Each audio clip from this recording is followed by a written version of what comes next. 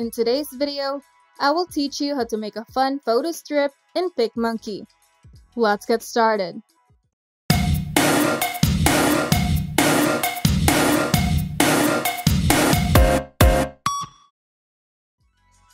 First, create a canvas with a size of 600 by 1500 pixels.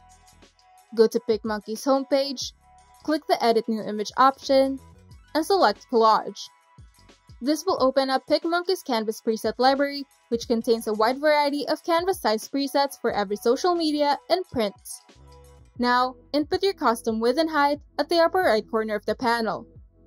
And once you're done, you can now click Make It to open the canvas in PicMonkey's editor. In the editor, you will notice different collage templates at the left side.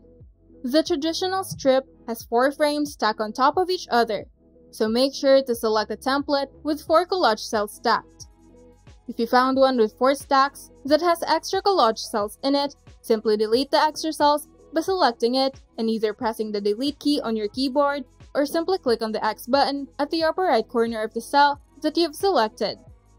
You can also adjust the amount of spacing in between the cells in the spacing slider. You also have the option to round up the edges of the cells, but to make the design similar to the traditional photo strip, I will leave the corner as it is. Now, to add images to your collage, go to the Photos and Videos tab. And you can either use stock images from PicMonkey stock library, or you can upload your own image by clicking on the Add Photo or Video button. Once your image is uploaded, you can now add it to your collage by simply dragging the image into the cell or you can just click on the autofill cells. Now, if you would like to make your photo strip a little more fancy, you can use PicMonkey's photo strip templates. To do this, click the File option on the menu bar and select Template.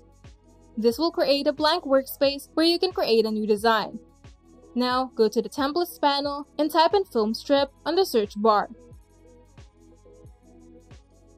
This will show every template with film strips and all of them are completely customizable. To open one, simply click on it and it will automatically appear on your canvas. To replace the photo on the template, simply right-click on the photo that you would like to replace and select Replace Image. Now, select your image source, then open the chosen image in PicMonkey. Now, just play around with your design until you're satisfied.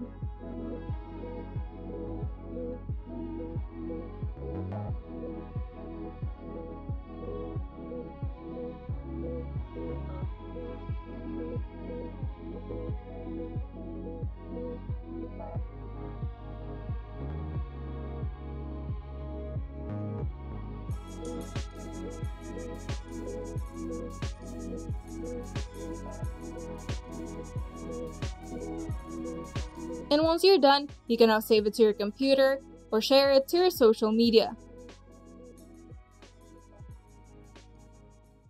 If you find this video helpful, make sure to leave a like and subscribe. And if you want to see more tutorials, turn on the notification bell to get notified whenever we upload new videos.